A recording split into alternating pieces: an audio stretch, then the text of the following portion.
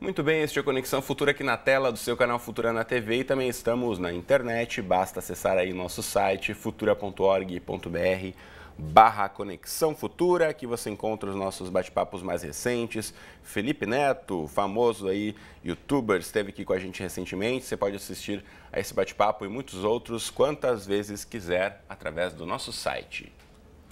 E daqui a um mês e meio, mais de 8 milhões e 600 mil estudantes de todo o país farão o Enem, o Exame Nacional do Ensino Médio, e a principal porta de entrada para o ensino superior. A nota do Enem pode ser usada como critério de acesso para as universidades por meio do Sistema de Seleção Unificada, o SISU, e do Programa Universidade para Todos, o ProUni. Por isso, organizar a rotina de estudos nessa reta final é fundamental, principalmente para a redação. Afinal, ela vale mil pontos e pode garantir aí uma boa nota final. No entanto, essa prova é considerada uma das mais difíceis pelos estudantes, principalmente pelas regras de avaliação e pelo tempo de duração da prova. Então, para dar dicas para os alunos que farão o Enem, eu recebo aqui no estúdio o Alexandre Guimarães, que é professor do site Descomplica. Professor, bem-vindo mais uma vez. Tudo bem com você? Tudo bom, boa tarde, boa tarde, gente. Bom, a gente já fala aqui há bastante tempo sobre se preparar, sobre organizar a rotina, agora está chegando aí em cima da hora. Ainda dá tempo aí de recuperar um pouco do atraso de quem não se dedicou tanto nos últimos meses? Olha, tempo dá. Nós temos sete semanas até o Enem e eu acho que são suficientes para, mesmo aquele que não se dedicou como deveria, correr atrás e começar a trabalhar, conhecer o que precisa fazer e praticar, né? Uhum. Esse é o caminho a forma de estudo para a redação, ao contrário de algumas outras disciplinas que você tem que ler muito, a redação você tem que praticar, tem que escrever mesmo. É, né? tem de ler muito uhum. e tem de praticar muito, não uhum. basta só ler. Uhum. Também não basta só praticar. Se você não tiver conteúdo, você não escreve nada. Posso uhum. conhecer a técnica, mas preciso ter conteúdo, preciso saber do, dos assuntos importantes, que eles, dos assuntos que podem cair na redação. Né? Uhum. E quais assuntos são esses? Olha, Essa sempre é a pergunta de é, 10 milhões de dólares. É né? o prêmio da da Mega Sena, talvez, né? Ah, eu acredito assim que alguns temas são bastante importantes. O tema da família, nós tivemos o Estatuto da Família há pouco tempo, é, Marco Civil na internet, é um assunto também muito importante. A questão da inclusão social, nós tivemos a Paralimpíada que trouxe à tona esse tema. Então, são alguns assuntos que o aluno precisa conhecer bastante, mas não só esses, né?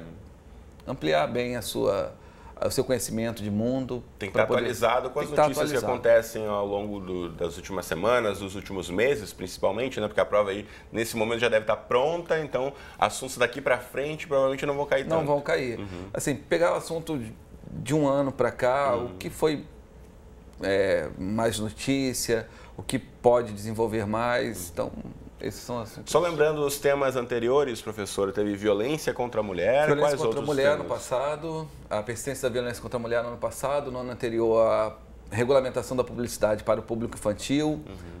consequências da lei seca, a imigração para o Brasil no século XXI, viver em rede também no século XXI. Uhum. Então são assuntos que não são tão difíceis, são assuntos que aquele aluno que está uh, lendo bastante sobre temas atuais tem condição de fazer, uhum. sem dúvida nenhuma. Bom, sem dúvida. E estando bem atualizado, né, a garotada gosta muito de estar na rede social, então, na verdade, é importante usar essa ferramenta também como uma forma de obter informação de veículos oficiais, de jornais, de revistas também, não só ali usar para trocar mensagem com os amigos, mas usar a rede social também para se abastecer de informações. Sim, e praticar bastante a questão da argumentação. Eu costumo indicar programas que trabalham em debate, programas que trabalhem um tema e as visões sobre esse tema para ele trabalhar contra-argumentação, é, dialética no assunto. É muito importante você não só conhecer o tema, mas conhecer o tema de forma mais ampla, ver dois lados da questão para não ser maniqueísta, não cair em falácias, que são as falhas argumentativas que geralmente descontam ponto da redação do, do, candidato. E por mais que você discorde de algum ponto de vista, saber que ele existe, saber eventualmente até Sim. argumentar a favor dele, né? Sim, claro. Na prova. E saber contra-argumentar, saber uhum. usar o argumento contrário para fortalecer o seu. Agora, professor, por que a prova de redação vale tanto ponto em comparação com outras provas do Enem? O Enem é uma prova muito objetiva. Então, o fato de tirar a capacidade do aluno de escrever ou expressar-se de forma clara, talvez tenha fortalecido ou dado peso à redação, porque ali ele pode expressar-se, pode mostrar conhecimento de mundo, então ele pode ter um, uma amplitude maior para mostrar o seu conhecimento. Numa prova objetiva, talvez isso não seja tão evidente assim. Uhum. Então a, a, redação ela te dá essa oportunidade. Você precisa ter conhecimento de história, de geografia, de filosofia e usá-los na redação. Uhum. Então o aluno mostra muito mais conhecimento e eu acredito que seja esse o fator de ter tanto, é, ter tanto valor a redação. Sem dúvida.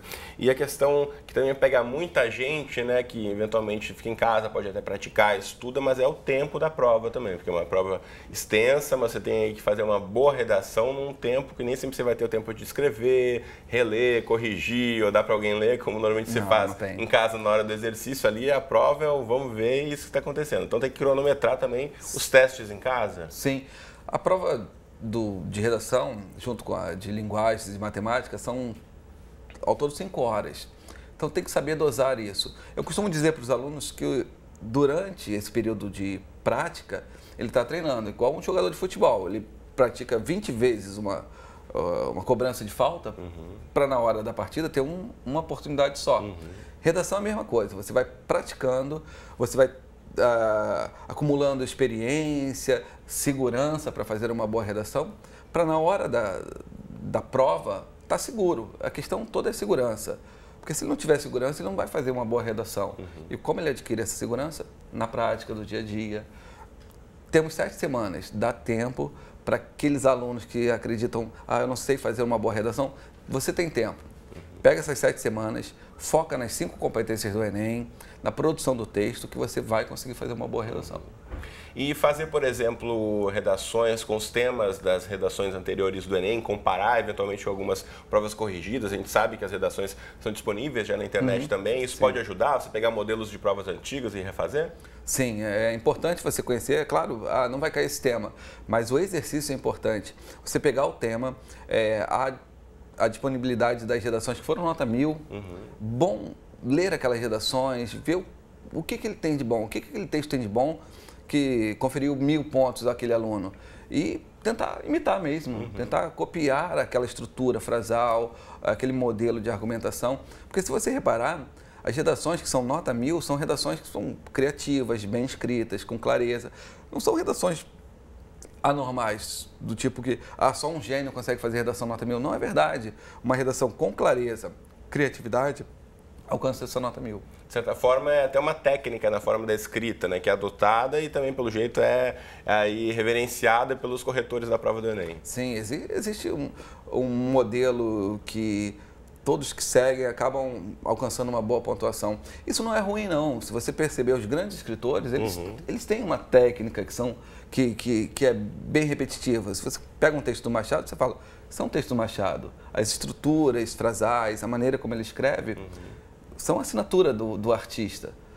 A redação nota mil também tem uma assinatura, também tem um modelo. Tem, há muitos mitos sobre a redação. Ah, eu preciso escrever de forma muito erudita. Não, simplicidade. Uhum. É, eu preciso é, citar alguns autores. Citar alguns autores é importante. A, a competência 2 te cobra isso. Fazer essa interdisciplinaridade uhum. com história, com filosofia, com sociologia. Então, assim, se você analisar a redação nota mil, você vai perceber que existe uma estrutura que está ali em todas elas, que não é tão difícil assim de alcançar. Uhum. Bom, então essa mensagem do professor aqui acho importante a gente mencionar. Ainda dá tempo, né? Não entrar Sim, no desespero. Não, não desespero. Ainda pode pegar aí em sete semanas, de repente fazer uma redação por semana. Tem uma média aí, professor, que você indique? Ah, escreve todo dia. Todo dia? Todo dia. Uhum. Todo dia. E não precisa ser uma redação completa. Faz uma observação sobre aquilo que você acabou de ver na TV, aquilo que você acabou de ler numa revista você vai estar lendo, você vai estar produzindo uhum. uma análise crítica, porque não basta apenas eu ler uma matéria. Eu preciso ser um leitor crítico dessa matéria, interagir com essa matéria. Se eu leio uma notícia no jornal, o que, que aquela notícia causa? Quais são os impactos dela? Quais são as consequências, uhum. as causas? E fazer essa leitura crítica da, de tudo que você observar no mundo. Leitura de mundo é importante. Agora, o professor mencionou a importância de que não precisa colocar tantas palavras rebuscadas, um linguajar erudito, mas, por outro lado, também usar muita gíria, isso também não pega bem, né?